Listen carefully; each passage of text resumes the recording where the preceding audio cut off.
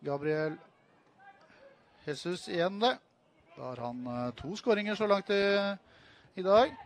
Det gleder nok eh, alle de som har eh, han på sitt fantasy-lag.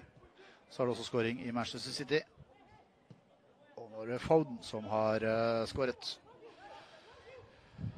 Braga legger inn foran, og så er det Anas Farah. Treffer Aksel Potur, og så Potur drar av 1, 2, 3, og så ut til Jesper Grundt, som debuterer med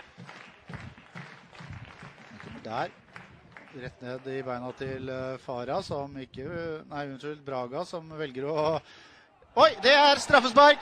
Anas Farah blir Nei, Claudio Braga blir lagt i bakken, og det er straffespark til Moss eh, FK.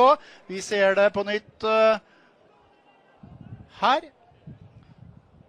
Braga, som tar med seg uh, Snib ut på en uh, god tur og blir lagt i bakken. Snib mener at det er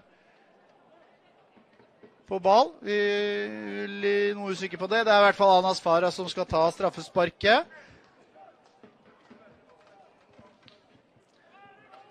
Det har vi ikke sett før i år.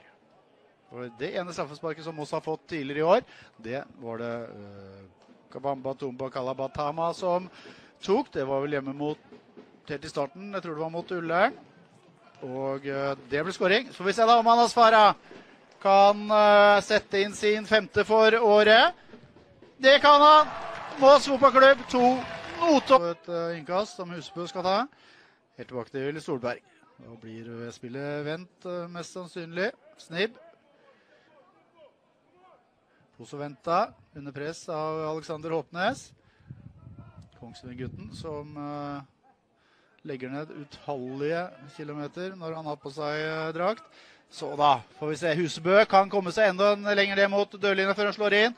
Slår også inn der. Og så ender ballen hos, uh, hos uh, Adrian Berntsen. Og det er Norget som får rydda opp i første omgang. Slår også den langt mot uh, Kabamba Tumba Kalabatama, men der er Bukve tidlig ute. Og og så er det rotes det til, og så er det Kabamba Tumba